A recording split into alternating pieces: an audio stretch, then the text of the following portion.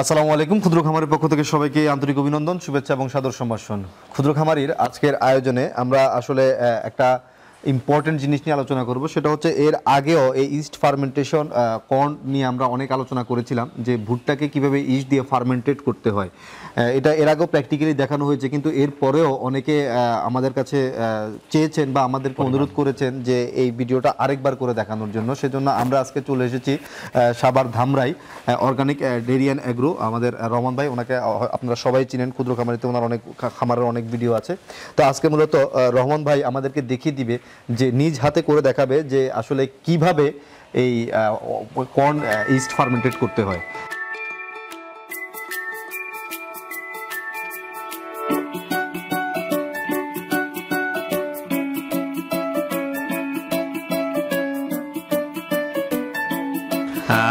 আমি প্রথমে বলতে চাচ্ছি এবং আন্তরিকভাবে ধন্যবাদ দিচ্ছি আমাদের মুক্তি মাহমুদ ভাইকে। তার কারণ হচ্ছে এটা আসলে আমার গবেষণালব্ধ আইটেম না, এটা আমিও মুক্তি মাহমুদ ভাইয়ের কাছ থেকে প্রাপ্ত এবং তার কাছ থেকে এই এটা শেখা এবং সব যতগুলো পরিমাণ আছে সবগুলোই ওনাকে অনুসরণ করা। তো ওনাকে আসলে অন্তরের অন্তঃস্থল থেকে ধন্যবাদ জানাই এবং আমি শুরু করতেছি ইস্ট ফার্মেন্টেশনটা আপনাকে, আপনারা কীভাবে তৈরি করবেন এবং আমি তৈরি করতেছি দশ কেজি পরিমাণ ভুট্টার জন্য যে ইস্ট ফার্মেন্টেশনের কি কি পরিমাণ কতটুকু লাগবে, সেই উপাদানগুলো আমি আপনাদেরকে দেখিয়ে দিচ্ছি। দাও, এখানে এটা জিরো করা হয়েছে, এটাকে দশ কেজি, ই দাও। ভুট্টা পাউডার দাও এই ভুট্টা হচ্ছে পাউডার একটু সুজি সুজি পাউডার যেটাকে জি বলে জি সুজির মতো করে পাউডার অনেকে পাউডার বলতে একবারে পাউডার মনে করে আটার মতো। জি জি জি। ওইটা না। তবে- যতটা পাউডার হবে তত ভালো।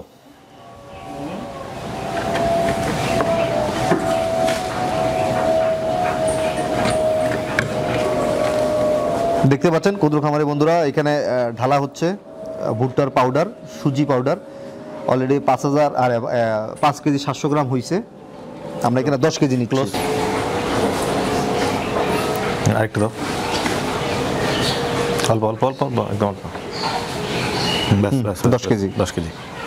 আচ্ছা এখানে দশ কেজি ভুট্টা পাউডার আকারে নেওয়া হয়েছে।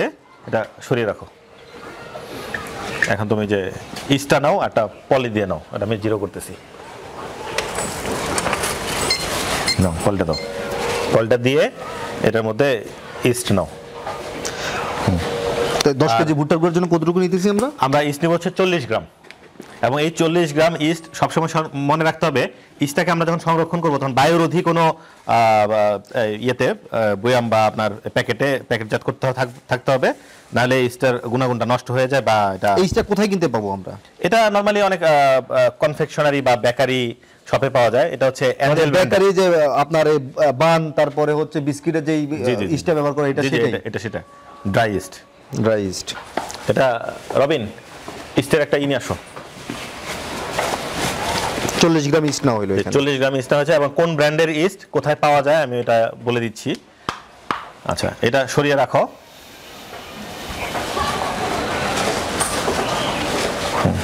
রাখো ওই সাইডে রাখো। আর ওই ইটা নাও মগটা নাও আর ওই গরম কুসুম গরম পানি যেটা ওটা নাও। এটা কি পরিষ্কার করা আছে? পরিষ্কার করা থাকলে পরিষ্কার করে নিয়ে আসো। দেখি আমি পানি কি অবস্থা।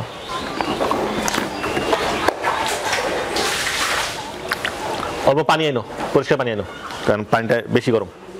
কুসুম গরম বা কুসুম গরম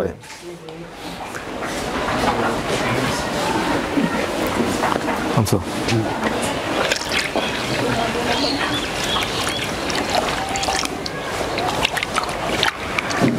আর একটু পানি নেওয়া দরকার ছিল।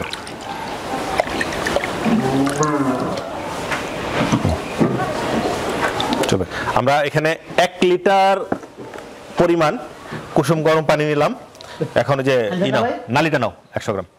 বাটিটা নিয়ে যাও বাটি আচ্ছা, নালির জায়গায় যদি আমরা নালি যাদের কাছে নাই তারা যদি চিনি ব্যবহার করে? হ্যাঁ, চিনি ব্যবহার করা যাবে তবে আমরা যেহেতু খামারি তো নালিটা আমাদের কাছে অ্যাভেলেবেল থাকে। মানে নালিটা ভালো না চিনিটা ভালো? নালিটা ভালো। কারণ আমি মুক্তি মাহমুদ ভাইয়ের সাথে কথা বলে চিনি দিয়ে করেছিলাম। তো চিনি দিয়ে করার ফলে আমার ইস্ট ফার্মেন্টেশন করতে গিয়ে ভুট্টাটা আমাকে মানে খুব একটা মানে ফোমিং আকার বা ফুলেনি। ওনার সাথে আবার কন্ট্যাক্ট করে আমি আগে যে ইস্টটা ইউজ করেছিলাম, সেই ইস্টটাও পরিবর্তন করেছি এবং এই যে ওনার সাজেশন মোতাবেক অ্যাঞ্জেল যে ইস্টটা এখন এই ইস্টটা ইউজ করতেছি, এটাতে রেজাল্ট মোটামুটি ভালো পাচ্ছি। এবং নালিগুলে গুড়ের দেওয়াতে এটা ফ্লেভারটাও সুন্দর আসে এবং গরু ভালো খায়। নালিটা এমনিতেই গরু একটু বেশি পছন্দ করে। বেশি হবে বেশি হবে। একশো গ্রাম। আর এটা তো মাপতে হইতো তো। তুমি করো আর একটা পলি নাও। পলি নাও। তুমি এটা বাটিটা না মেপেই নিয়ে এসে পড়ছো। হুম, দাও। জিরো আছে না? হ্যাঁ দাও এটার মধ্যে তাহলে গ্রাম মিষ্টির সাথে আমরা একশো 100 গ্রাম গ্রাম। নালি নিচ্ছি 100 দাও নালে হাত দিয়ে আস্তে করে দিয়ে থাকো এটাতে হ্যাঁ পুরুক। হুম দিয়ে থাকো। হুম গ্রাম খুব বেশি না? দাও আর একটু হাতে উঠায় দাও। আবার হাতেও একটু কিন্তু আছে। হুম, অসুবিধা হবে না। তবে এইটার ক্ষেত্রে একশো থেকে যদি দেড়শো হ্যাঁ, গ্রামও হয়ে যায় কোনো প্রবলেম হবে দিও না দিও না দিও না দিও না। অসুবিধা নেই এইটুকু দিলেও সমস্যা হবে না। তবে এই ক্ষেত্রে আমি একটা জিনিস মেনশন করে দিই। কেউ যদি একশো বা দেড়শো গ্রামও দেয়। তো সেক্ষেত্রে এই পরিমাণটা আমি আসলে মুক্তিবের কাছ থেকে যেটা শুনছি সেটা হচ্ছে মোলাসেসের পরিমাণ এবং ইস্টের পরিমাণও যদি সামান্য একটু কম বেশি হয় তাতে কোনো তেমন কোনো মেজর কোনো প্রবলেম মেজর কোনো প্রবলেম হবে না। তবে খুব বেশি একটা উনিশ বিশ হলে সমস্যা নাই। হ্যাঁ, খুব বেশি পরিবর্তন করা যাবে না। কি এটা দাও এটা- এটার ভিতরে দিয়ে দাও দিয়ে হাত তৈরি করে ফেলো। হ্যাঁ। তাহলে ওই যে হালকা কুসুম গরম পানির সাথে আমরা মোলাসেসটাকে এখন এ- এটাও দাও এটাও দাও। এটাও দাও না হাতে তো ভরবে- ভরবে আবার তোমার। দাও। কিন্তু তুমি যদি বাটিটা আগে মেপে নিতা তাহলে কিন্তু আমরা বাটি থেকেই করতাম। ঠিক আছে?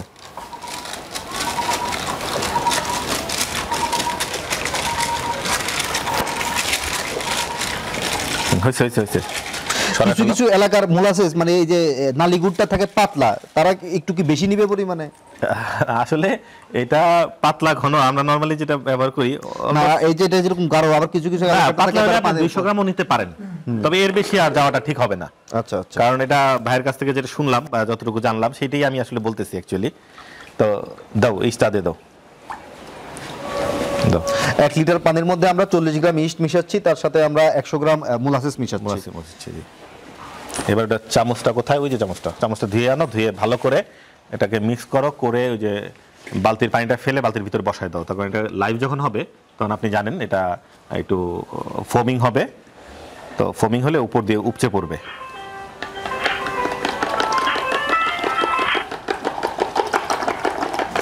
ক্ষুদ্র খামারি বন্ধুরা, দেখতে পাচ্ছেন আপনারা, এক লিটার পানির সাথে চল্লিশ গ্রাম ইস্ট এবং একশো গ্রাম মোলাসেস চিটাগুড় মিক্স করা হচ্ছে। এটাকে এরপরে আমরা একটা বালতির পানিতে ঢালবো, ঢালার পরে ইস্টটাকে লাইভ করব। পানিটা ফেলে দাও। ফেলে খালি বালতি টানো। ঢেলে দাও সম্পূর্ণ ঢেলে দাও।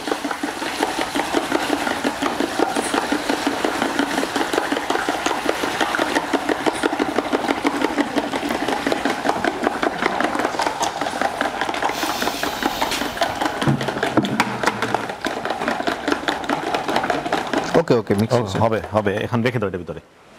এটার ভিতরে শুধু রেখে দাও। এই অবস্থায় রেখে দাও।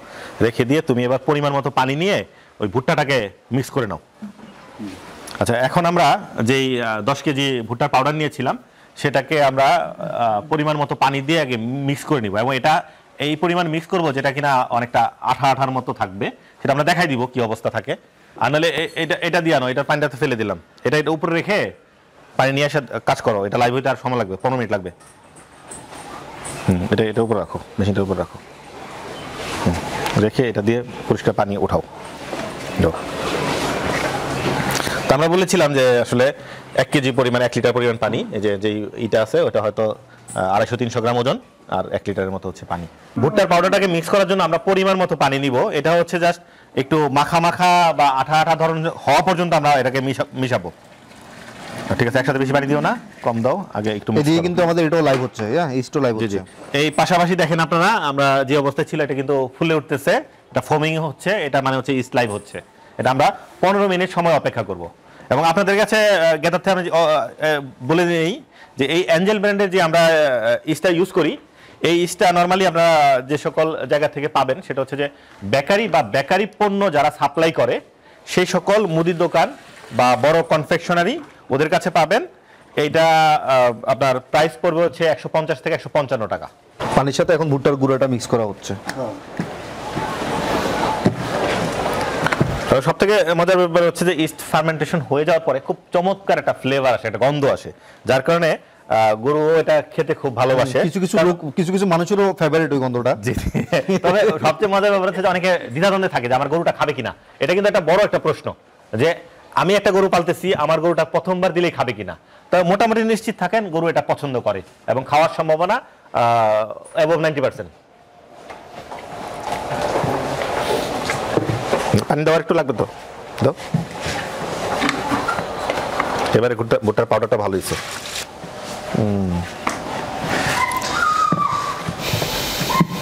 আর একটু লাগবে আর একটু লাগবে? না লাগবে না পানি লাগবে না। হয়েছে হয়েছে আচ্ছা এবার তুমি দুই হাতে বাড়াও একটু। দুই হাত বাড়ায় ক্যামেরার সামনে এইভাবে এই- এই- ই দিবা। দেখবা আচ্ছা বলেন আপনি বলেন। হ্যাঁ ক্ষুদ্র খামারের বন্ধুরা দেখতে পাচ্ছেন যে এই যে ভুট্টার গুঁড়োটা পানির সাথে মিক্স করা হয়েছে একটু আঠালো আঠালো ভাবে। একটু যদি চাকা করে দেখান আমাদেরকে। এই যে ঠিক এরকম আঠালো ভাবে। মানে খুব বেশি পানি হবে না হ্যাঁ? পরিমাণ মতো। আচ্ছা ঠিক আছে। না, এদিক থেকে অলরেডি আমাদের এখানে ভুট্টার ইস্টটাও আমাদের লাইভ হয়ে আসতেছে। হয়েছে তুলতে হবে না। থাক। এবার মোটা এটা ভালো ফ্লেভারটা ভালো হুম, ঠিক আছে রাখো। রাখো আর ওটা একটু সময় নিতে হবে। আচ্ছা এর মধ্যে আমরা ওই ইয়াটা দানাদার মিশ্রণটা আমরা ইয়ে- ইয়ে করে ফেলি। হুম কি করো। ওই ড্রাম আনো। ক্ষুদ্র খামারি বন্ধুরা আগেই বলে নিই এটা হচ্ছে আপনি আপনি নিয়ে আসেন ওটা। আগে বলে নিই এটা হচ্ছে আমরা এখন ভুট্টার গুঁড়াটাকে পানির সাথে মিক্স করে আঠালো আঠালো আঠালো অবস্থায় মিক্স করে এটাকে রেখে দেওয়া হয়েছে। কিছুক্ষণ পরে আমাদের যখন এই ইস্টটা লাইভ হবে সম্পূর্ণ আকারে পনেরো মিনিট সময় লাগবে সেটার জন্য। লাইভ হওয়ার পর আমরা সেটাকে মিক্স করব। মিক্স করে এটাকে বায়ুরুদ্ধ অবস্থায় মানে এটা ঢাকনাটা আহ, আটকে ঢাকনাটা আটকে এটাকে রেখে দিব বারো ঘণ্টা। বারো ঘণ্টা পরে এই ঢাকনাটা খুলে এটাকে দানাদার খাবারের সাথে মিক্স করে তারপর আমরা গরুকে খাওয়াবো। কিন্তু এটা তো আর এখন সাথে সাথে খুলে দেখানো যাবে না। সেজন্য বারো ঘণ্টা আগে আমাদের রহমান ভাই আরেকটা এরকম ড্রাম আপনাদের জন্য রেডি করে রেখেছে। একটু সামনে নিয়ে আসেন ড্রামটা। এই যে এই ড্রামটার ভিতরে সেটা আছে একটু পরে আমরা এই ড্রামটা খুলবো। খুলে আপনাদেরকে দেখাবো যে বারো ঘণ্টা আগে এই যে জিনিসটা এই মাত্র আমরা করলাম বা করব পুরোটা সব শেষ করব সেটা বারো ঘণ্টা আগে করে এই ড্রামটাতে রেখে দেওয়া হয়েছে।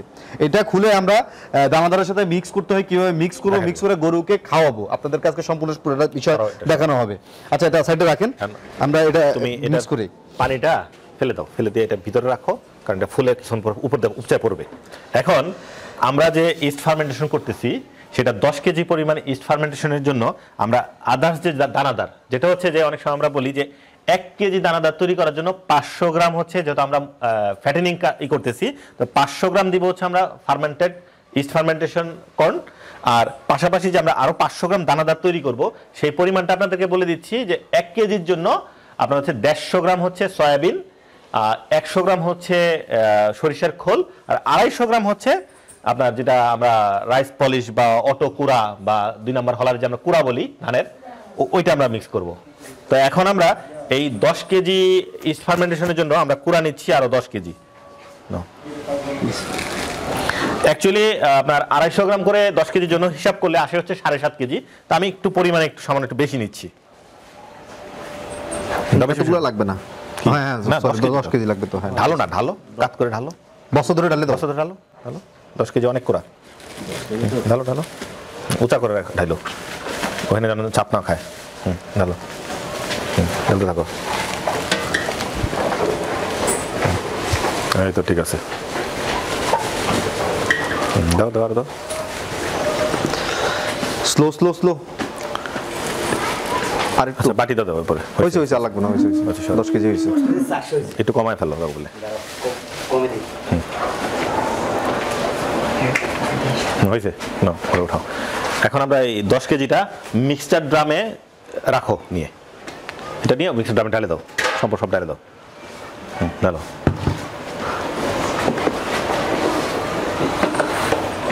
ঢেলে এটাকে সমান করো।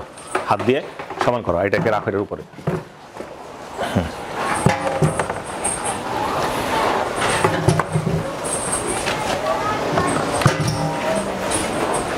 সমান করো।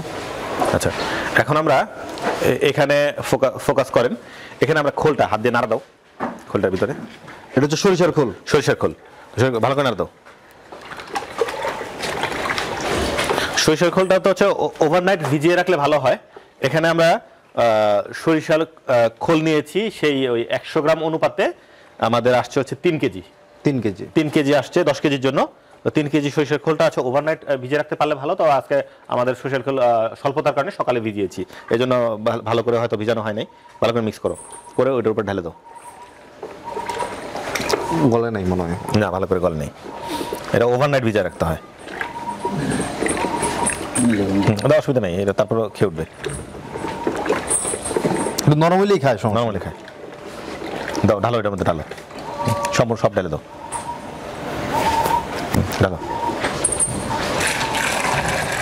একেবারে সব সব ঢালো সব ঢালো ঢালো আচ্ছা হয়েছে না? এবার এটার মধ্যে ই নাও ওই যে সয়াবিন আনছো না? সয়াবিন এটা নিয়ে আসো। এখানে সয়াবিনের খোল যেটা যেটা সয়া মিল বলে এই সয়াবিনটা নিব হচ্ছে আমরা সাড়ে চার কেজি। মানে কেউ সয়াবিন মিল বলে কেউ সয়া মিল বলে কেউ সয়াবিনের খোল বলে। খোল বলে। তো যাই হোক এটা আমরা নিব হচ্ছে আমরা সাড়ে চার কেজি। তার কারণ হচ্ছে ওই দেড়শো গ্রাম প্রতি এক কেজিতে দেড়শো গ্রাম হিসেবে দশ কেজির জন্য সাড়ে চার কেজি আসে। দাও সাড়ে চার কেজি। বেশি হয়েছে, একটু কমাই নাও। হালকা একটু কমাও হালকা একটু কমাও হয়েছে তো আমরা সাড়ে চার কেজি সয়াবিন নিলাম। সয়াবিনটা আমরা দানাদারের সাথে মিক্স করব।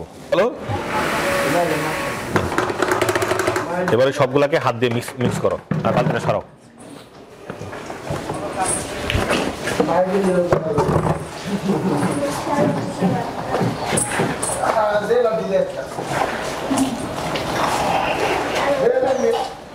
সবকিছু যেন একসাথে মিক্স হয় টোটাল দানাদার মিশ্রণটা হয়ে যাচ্ছে। এটা তাহলে এখন এই যে মিশ্রণটা যে করলেন এটা প্রাইসিং প্রতি কেজি কত টাকা করে পড়তেছে? আপনি হিসাব করে দেখছেন? এটা আমি হিসাব করেছি একুশ থেকে বাইশ টাকার মধ্যে পড়ে। একুশ থেকে বাইশ টাকার মধ্যে প্রতি কেজি হয়ে যাচ্ছে। এখন আমরা স্টার লাইভ হয়ে গেছে এটা উঠাও। দেখাই উঠাও এখানে উপরে উঠাও হাত দিয়ে দেখো ক্যামেরার সামনে ধরো। আমাদের ইস্টটা অলরেডি লাইভ হয়ে গেছে। দেখেন একটা ফোমিয়া ফোমিয়া আকার ধারণ করেছে এবং আমরা পনেরো মিনিট ওয়েট করেছি। তো এখন আমরা যে ভুট্টাটাকে মাখা মাখা আকার রেখেছিলাম এটা আমরা দিয়ে টোটালটা মিক্স করে ফেলব। নাও দাও পুরোটা দাও দিয়ে ভালো করে মিশাও। অর্ধেক দিয়ে মিশানোর পরে আবার অর্ধেক দাও। হয়েছে রাখো মিক্স করো। আচ্ছা, ভালো করে মিক্স করো একেবারে।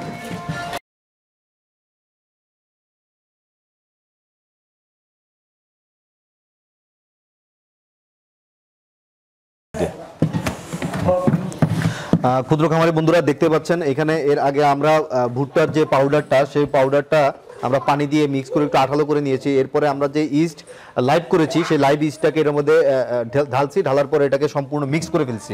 মিক্স করে এটাকে এখন সম্পূর্ণ আঠালো ভাব করে এটাকে সুন্দর করে আমরা বায়ুরোধক অবস্থায় রেখে দিব বারো ঘণ্টার জন্য।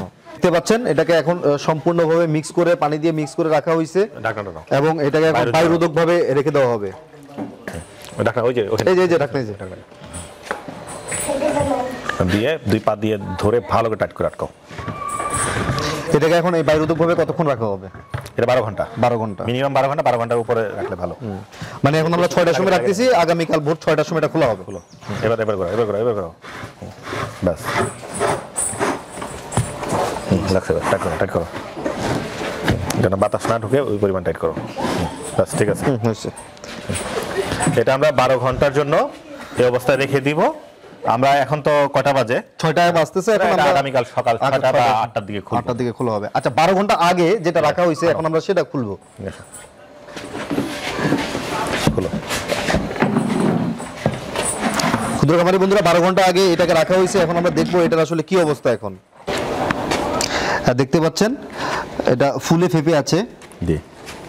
দেখেন এটা এটা অনেক কম ছিল এখন দেখেন অনেকটা ফুলে গেছে এবং এটা অলরেডি ফার্মেন্টেড হয়ে গেছে। এখন আমরা ওই দানাদারের সাথে এটা পুরোটা এটা মেশাবো পুরোটা মিক্স করব। সব দিবা তো? একটু পানি পানিও ছাড়বো দেখো ভিতরে আছে।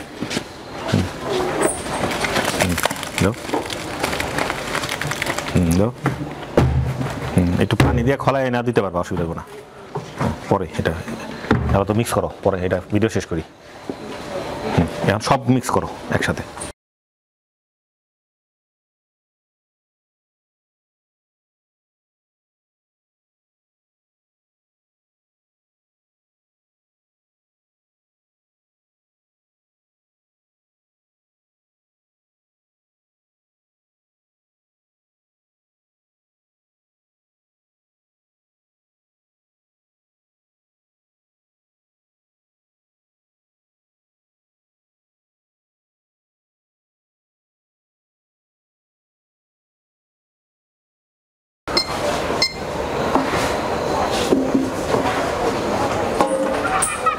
একশো চল্লিশ গ্রাম। একশো চল্লিশ গ্রাম।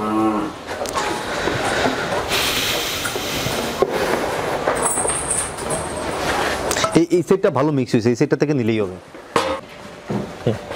দেখেন আমরা এক বাটিতে এক কেজি পাচ্ছি এরকম আমরা দুই বাটি একটা গরুর জন্য দিব অর্থাৎ একটা গরুকে দুই কেজি জি দুইশো কেজি লাইভেটের জন্য আমরা দুই কেজি খাবার দিচ্ছি। প্রতি। একশো কেজি লাইভেটের জন্য এক কেজি দিচ্ছি। দাও।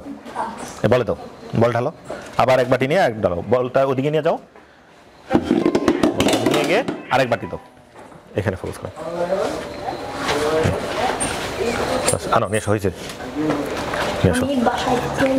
তাহলে আমরা মাত্র চল্লিশ টাকার খাবার এখানে। হ্যাঁ, 40 তাহলে চল্লিশ টাকা এখন চল্লিশ টাকা সকালে। তাহলে প্রতিদিন আমরা আশি টাকা দানাদার খাবার দিচ্ছি। এবার আমরা এটাকে গরুকে খাইয়ে দেখাবো। এই যে আমরা এখন এই গরুকে দিলাম। আপনারা দেখেন সচক্ষে যে গরু কেমন খায়। আর পাশেরগুলা কীরকম পাগল হয়েছে? সেটাও দেখে নেন। পাগল হবে। আচ্ছা ও তো খাচ্ছে লালু রে দাও। লালু দেখি কেমন খায়। টান দাও বলটা টান দাও ওর ওর নিচে নিয়ে আসো। হুম এই দেখেন। হুম, খাও লালু লাগ ধরো লাগ ধরো লাগ ধরো ভালো দাও চলে গেছে।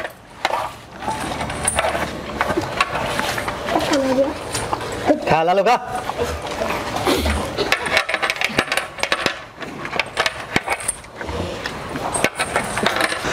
ক্ষুদ্র খামারি দর্শক আমরা আজকে চেষ্টা করেছি আপনাদেরকে গরু মোটা তাজাকরণ সবচাইতে কম খরচে রেশন মেনটেন করে কি কি উপাদান মিশ্রণ করে গরুকে খাওয়ালে গরু সহজে মোটা তাজা হবে। এই মিশ্রণটা আপনাদেরকে দেখানোর জন্য তার পাশাপাশি ইস্ট ফার্মেন্টেড কর্ন কীভাবে তৈরি করা হয় তার বিস্তর আলোচনা আপনাদের সামনে আতর রহমান ভাই করেছে। আতর রহমান ভাই, আপনি যে প্রক্রিয়ার আজকে আমাদেরকে দেখালেন, এটা সম্পর্কে শেষ বিদায়ের আগে দর্শকদের উদ্দেশ্যে মানে দর্শকদেরকে একটু ভালোভাবে বুঝিয়ে দেওয়ার জন্য টোটাল প্রসিডিউরটা আবার একটু বলে দেন। আচ্ছা আমি দর্শকদের উদ্দেশ্যে বলতে চাই অ্যাকচুয়ালি যখন আমাদের যে সিনিয়র ভাই যারা আছে প্লাস আমরা যারা আছি, যে সকল নতুন খামারি যারা আসবে, আমরা অবশ্যই নতুন নতুন প্রযুক্তিগুলা গ্রহণ করার চেষ্টা করি এবং এটা নিয়ে আমরা কিন্তু এক্সপেরিমেন্ট করি নিজের আগে। সব সময় আমরা দুইটা গরুর জন্য বা চারটা গরুর জন্য এক্সপেরিমেন্ট করে দেখি যে আসলে ফলাফলটা কি। তারপরে কিন্তু আমরা চাই যে এটা সবার কাছে, আপামর জনসাধারণের কাছে পৌঁছে যাক, ছড়িয়ে যাক। তো ইস্ট ফার্মেন্টেশন এটা কিন্তু আসলে আমেরিকাতে বা ব্রাজিলে অনেক আগে থেকেই কিন্তু চালু ছিল। বা এখনও আছে, তা আমরা অনেক পরে হলেও আমরা এটা গ্রহণ করেছি অ্যাকসেপ্ট করেছি। সেক্ষেত্রে আমরা আমাদের বাংলাদেশের একজন পরিচিত মুখ, মুক্তি মাহমুদ ভাইকে অবশ্যই ধন্যবাদ জানাতে চাই। বারবার ওনার কথা চলে আসে, যেহেতু ইস্ট ফার্মেন্টেশনের কথা আসলে মুক্তি মাহমুদ ভাই নামটা এটার সাথে জড়িয়ে থাকবে। তো যাই হোক, আপনাদেরকে সর্বশেষ আবারও বলে দিচ্ছি, আপনারা প্রতি এক কেজি ইস্ট ফার্মেন্টেশন খাবার গরুর জন্য প্রস্তুত করার জন্য পাঁচশো গ্রাম ভুট্টা ইস্ট ফার্মেন্টেশন করার জন্য আপনারা যে সকল জিনিস লাগবে, সেটা হচ্ছে আপনাকে চার গ্রাম পরিমাণ ইস্ট লাগবে, আপনার পঁচিশ থেকে তিরিশ এম কুসুম গরম পানি লাগবে এবং আপনাকে ওইখানে চিনি বা নালি যেটাই বলেন, চিনি যদি দেন তাহলে হয়তো পাঁচ গ্রাম। আর যদি নালি দেন, সেক্ষেত্রে দশ গ্রাম দিতে পারেন। আর যেটা হচ্ছে, এরপর যেটা আমরা দানাদার যেটা আমরা করব, দানাদারের ক্ষেত্রে আমরা প্রতি এক কেজি খাবার তৈরি করার জন্য, যেহেতু পাঁচশো গ্রাম আমরা যেহেতু ই করলাম, ইস্ট ফার্মেন্টেশন দিচ্ছি, আর বাকি পাঁচশো গ্রাম আমরা তৈরি করব হচ্ছে দানাদার। যেহেতু ফ্যাটেনিং আর যদি আমাদের দুধের গাভি হয় দুধের গাভিকে আপনাকে খাওয়াইতে পারবেন তবে সেক্ষেত্রে আপনাকে ওয়ান ফোর্থ হচ্ছে ইস্ট ফার্মেন্টেশন রাখবে অর্থাৎ চার ভাগের এক ভাগ। এক ভাগ আর বাকি তিন ভাগ হচ্ছে দানাদার। তো সেক্ষেত্রে আমাদের তো মোটা তাজা করার খামার সেক্ষেত্রে আমি অর্ধেক পরিমাণ ই করতেছি এবং এই সেই অর্ধেকের মধ্যে আমরা যেটা দিচ্ছি সেটা হচ্ছে দেড়শো গ্রাম পরিমাণ দিচ্ছি হচ্ছে সয়াবিন আর আমরা হচ্ছে একশো গ্রাম দিচ্ছি হচ্ছে খোল। আমি সরিষার খোল আমাদের এলাকায় অ্যাভেলেবেল সরিষার খোল। কেউ আপনি চাইলে নারকেলের খোল দিতে পারেন বা তিলের খোল দিতে পারেন সেটাও চলতে পারে। আর পাশাপাশি কুড়াটা দিবেন আড়াইশো গ্রাম কুড়া। ধন্যবাদ আতাউর রহমান ভাইকে। ক্ষুদ্র খামারি দর্শক আপনাদেরকে আহ, বিদায় নেওয়ার আগে যেটা বলতে চাচ্ছি সেটা হচ্ছে যে সবসময় একটা অভিযোগ শুনে থাকি সেটা হচ্ছে যে আহ, সবসময় গোখাদ্যের দাম ঊর্ধ্বমুখী। ভুসির দাম খুব মানে কি ঘন হারে বাড়তে বাড়তেছে মানে আজকে এগারোশো টাকা বস্তা তো কালকে বারোশো টাকা বস্তা এরকম একটা অবস্থা। তো যাই হোক আতাউর রহমান ভাই কিন্তু অলরেডি ভুসিকে বাই বাই জানিয়ে নতুন খাদ্য প্রক্রিয়া শুরু করে দিয়েছে। সেটা হচ্ছে আপনারা দেখতেই পাচ্ছেন যে মাত্র দুইশো কেজি লাইভ ওয়েটের একটা গরুর জন্য চার কেজি খাবার তৈরি করতে ওনার মাত্র খরচ হয় প্রতিদিন আশি টাকা। তার মানে হচ্ছে আমার কাছে মনে হচ্ছে যে টোটাল সবকিছু মিলে আপনার একশো থেকে একশো দশ টাকার মধ্যে আপনি শেষ শেষ করে আমরা ফেলছেন। অনেকবারে একশো বিশ টাকা রাখি একদম লেবার চার্জ সহ কারেন্ট বিল। ইলেকট্রিসিটি একশো বিশ টাকা পার ডে একশো বিশ টাকা পার ডের মধ্যে ওনাদের একটা দুশো কেজি ওয়েটের একটা গরু মেনটেনেন্স করে ফেলছেন। তো আমার কাছে মনে হয় যে এই হিসাবে মাত্র বিশ টাকা একুশ টাকা কেজি দানাদার খাবার পড়তেছে এখানে। তো এইভাবে যদি আপনি খাবার মেনটেন করে থাকেন তাহলে অবশ্যই আপনি খুব ভালো পরিমাণ একটা লাভবান প্রফিট হবেন বা ভালো লাভবান হবেন। তো আজ এই পর্যন্তই বিদায় নিচ্ছি। অবশ্যই আপনার খামারে এই টেকনোলজি অ্যাপ্লাই করবেন সেই কামনায়। আসসালামু আলাইকুম। আচ্ছা